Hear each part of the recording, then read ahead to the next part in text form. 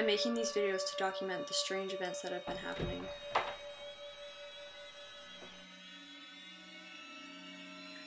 I'm going to be setting up a camera to record me all night. I know it's a little cliche, but I need some kind of evidence to show the police. I haven't slept very well.